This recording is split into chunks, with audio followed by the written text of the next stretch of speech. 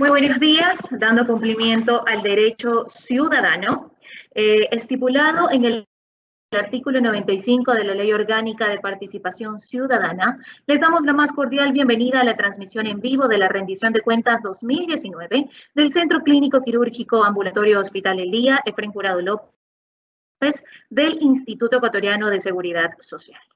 Juntos construimos en este momento le damos la bienvenida a la directora administrativa de la unidad hospitalaria, la ingeniera Catherine Toro, eh, directora administrativa, como lo mencionaba, y también a Jorge Mejillón, el director médico del Hospital de Guía Franco López. En este momento le paso a la magíster Catherine Toro, quien socializará con la ciudadanía que hoy se encuentra conectada los hitos más importantes de la institución en la provincia durante el año 2019. Buenos Muy buenos días, Melanie, muchas gracias.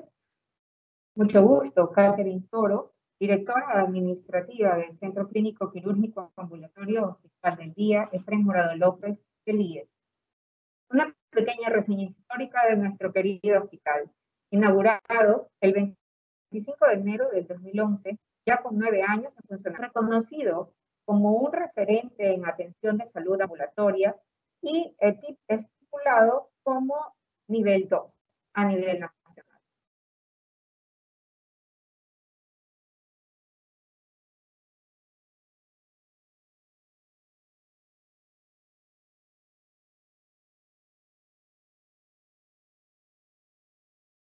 A continuación, la rendición de cuentas del año 2019.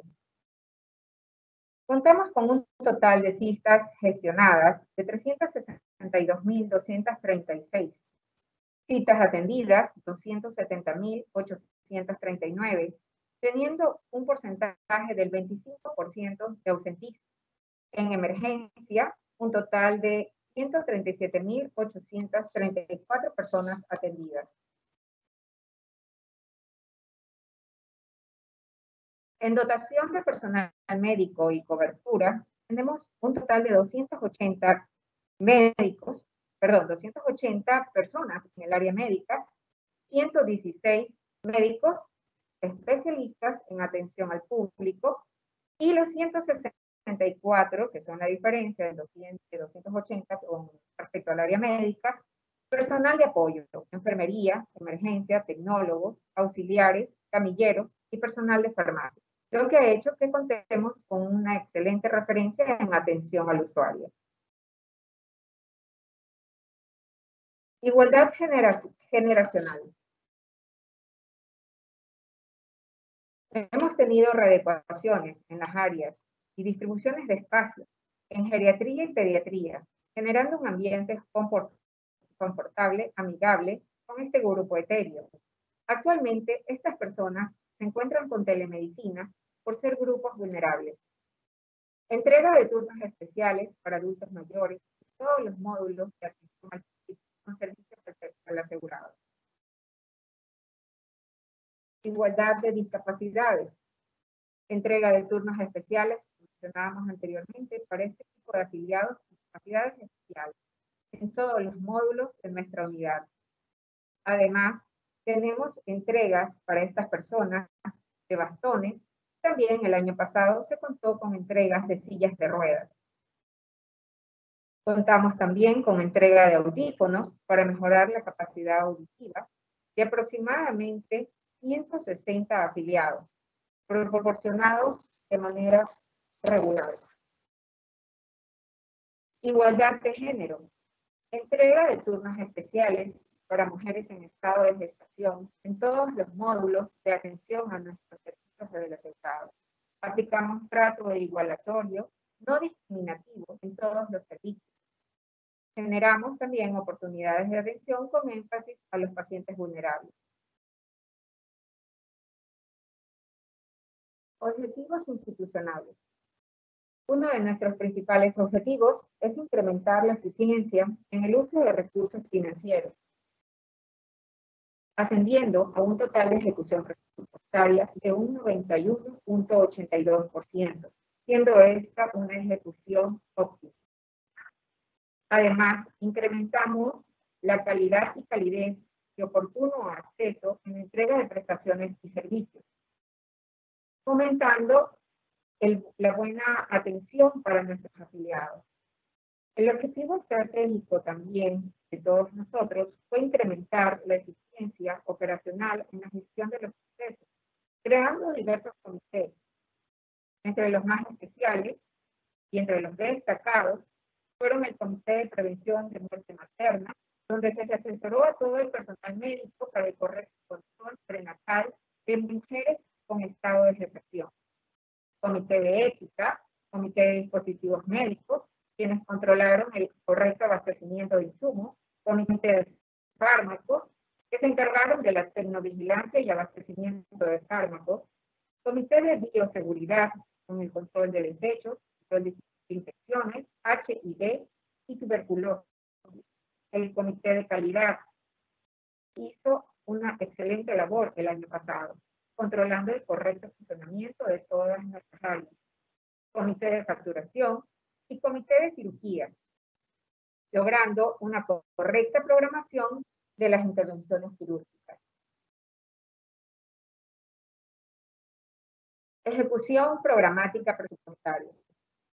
Tuvimos un total de presupuesto institucional aprobado de 19.459.922.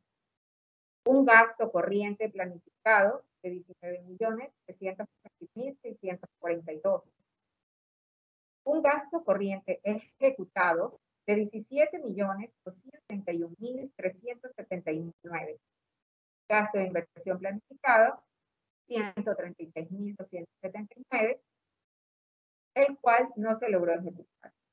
El presupuesto codificado para el ejercicio económico del 2019 fue de 19.459.922, como lo habíamos mencionado inicialmente, de lo cual se alcanzó un total de ejecución de 91.82%, siendo un nivel de ejecución óptimo.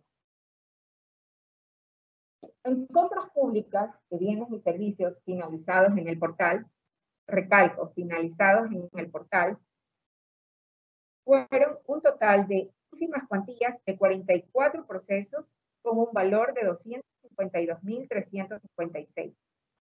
Subasta inversa electrónica, 5 procesos, 615.889. Procesos de declaratoria de emergencia, no hubo, gracias a Dios, el año pasado. Régimen especial, 2, valor total 110.211, catálogo electrónico 12 procesos por un valor total de 538.005. El resto de procesos, parte de ellos, fueron procesos plurianuales, los cuales pasaron al siguiente año para convalidación. Logros de nuestra unidad hospitalaria del año 2019. En infraestructura, se logró la readecuación del área de emergencia y acondicionamiento en la sala de espera, lo cual fue un gran beneficio para nuestros afiliados. Sistemas integrados implementados de Nagios.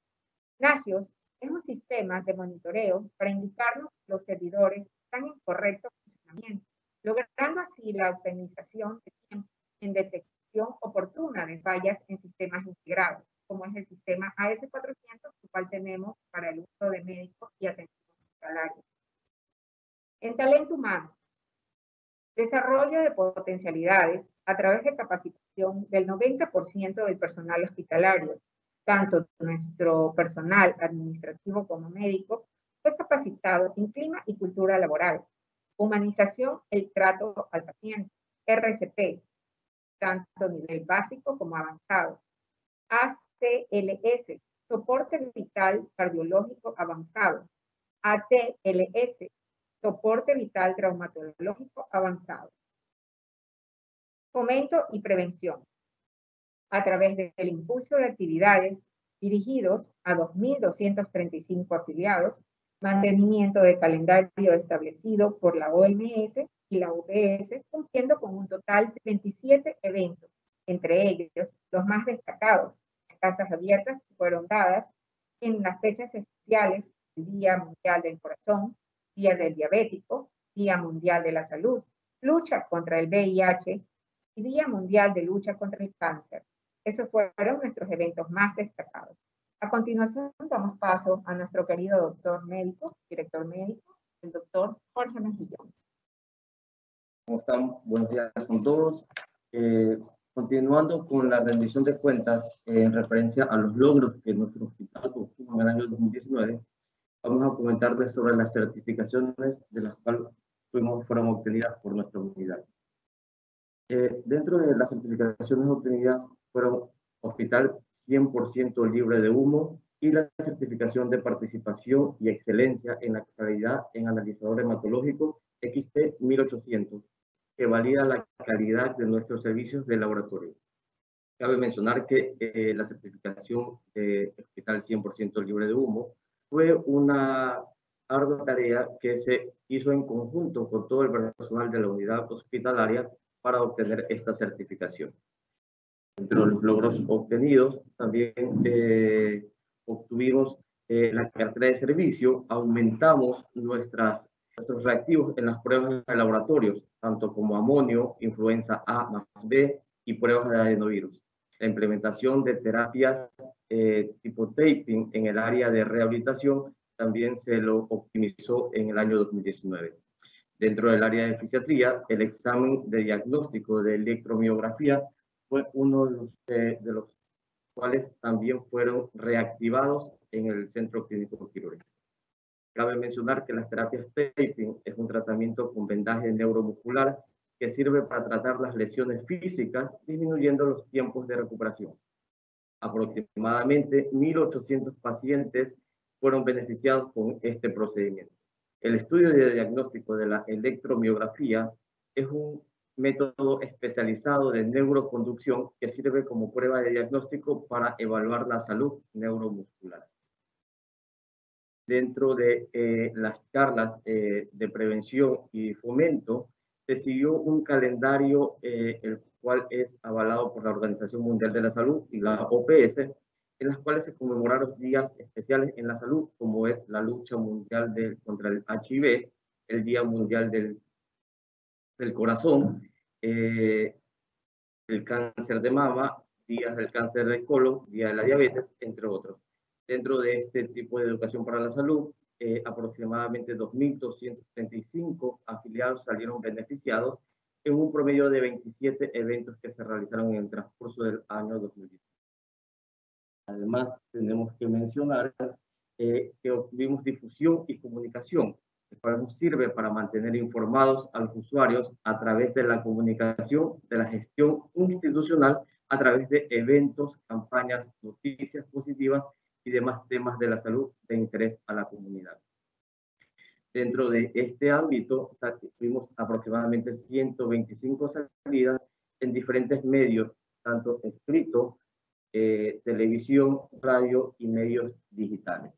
Hay que recalcar un dato muy importante que dentro de estas salidas al aire en los diferentes medios de comunicación fueron de manera gratuita. Dentro de las readecuaciones en las estructuras del hospital se implementaron cambios en la sala de espera, bloque 2, área de emergencia, área quirúrgica y hospitalización hicieron reestructuración estuvieron basadas en el área de climatización, iluminación y arreglos de estructuras para brindar un mejor beneficio en la espera de atención en el área de emergencia. Bueno, con, esto damos por terminado nuestra, nuestra rendición de cuentas a la espera de cualquier tipo de inquietud. Listo, eh, le agradecemos la intervención del doctor Jorge Mejillón y la directora administrativa, la magíster Catherine Toro. Les recordamos que hemos creado un correo electrónico donde vamos a receptar sus quejas, sugerencias, comentarios eh, o algún otro tipo de, solicitud que quieran hacernos llegar. Está habilitado el correo de rendición efrenjurado Vamos a receptar todos eh, sus comentarios, como les mencionaba, así que este correo está habilitado para toda la ciudadanía. En este momento vamos a dar paso a las preguntas y respuestas por parte de los participantes. Así que los invitamos a que nos escriban y vamos a esperar eh, unos minutitos para ver si que la ciudadanía se manifiesta. Igual eh, me indican que tenemos eh, un par de preguntas que nos han hecho llegar a través de nuestras redes sociales oficiales del Instituto Ecuatoriano de Seguridad Social. ¿Por qué las citas con especialistas deben ser derivadas por el médico general? Es un poco engorroso para los pacientes tener que acceder a doble cita, nos escriben a través de la red social Twitter, eh, directora. Correcto. Eh, el desconocimiento hace que nuestros afiliados piensen de esa manera, pero no, es todo lo contrario.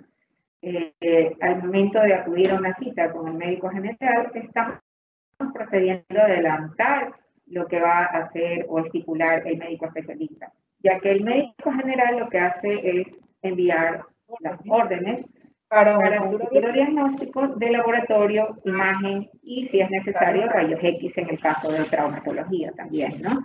Entonces, al momento de que el paciente acude al especialista, ya él va a contar con todos los exámenes necesarios para poder dar un diagnóstico con más precisión. Ok, le agradecemos a la directora administrativa. Por acá también eh, nos hacen llegar otra interrogante que, como les mencionaba hace un momentito, nos han escrito a través de las redes sociales oficiales del IES.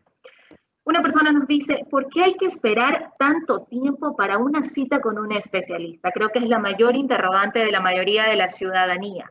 ¿Por qué se espera tanto tiempo? Eh, director médico Jorge Mejillón, ¿qué nos puede decir al respecto? Bueno, eh, realmente no lo vayamos a ver como que esperaron mucho tiempo para obtener una cita con el especialista. Lo que nosotros tratamos de hacer dentro del flujograma de atención al paciente es poder que esto obtenga con una eh, consulta médica con un nivel primario, es decir, en el área de medicina general, en el área de medicina familiar y en el área de medicina interna.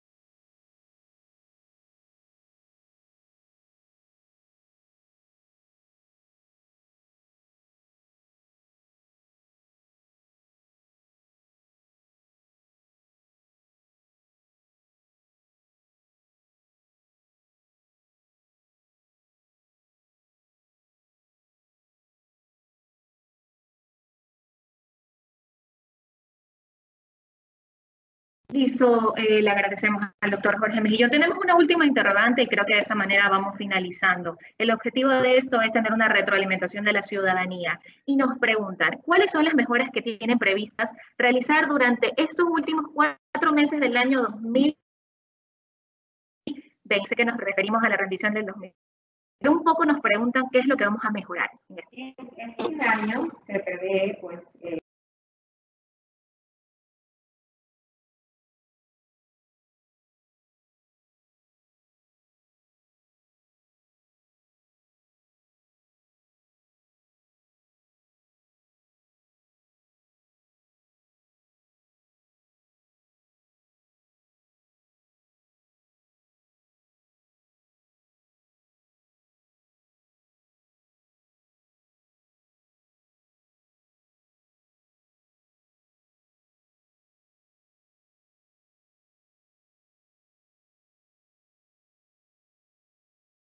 forma más, más exhaustiva para todos nuestros afiliados. Además, eh, se ampliarán los horarios en el área de curaciones, eh, procedimientos ambulatorios también, y de acuerdo a las disposiciones, obviamente, que emita el Poder Nacional. ¿no? Listo, eh, creo que de esta manera vamos finalizando y les recuerdo que tenemos habilitado el correo rendición arroba. Nos pueden escribir con toda confianza que vamos a estar receptando sus quejas, sugerencias, comentarios y solicitudes y vamos a estar muy pendientes de levantarlas y hacérselas conocer a nuestras autoridades. De esta manera vamos finalizando. Agradecemos a las autoridades presentes y a todos los participantes de este evento virtual. El IES cumple con el deber de informar a toda la ciudadanía. Gracias por su participación. Que tengan un excelente día miércoles.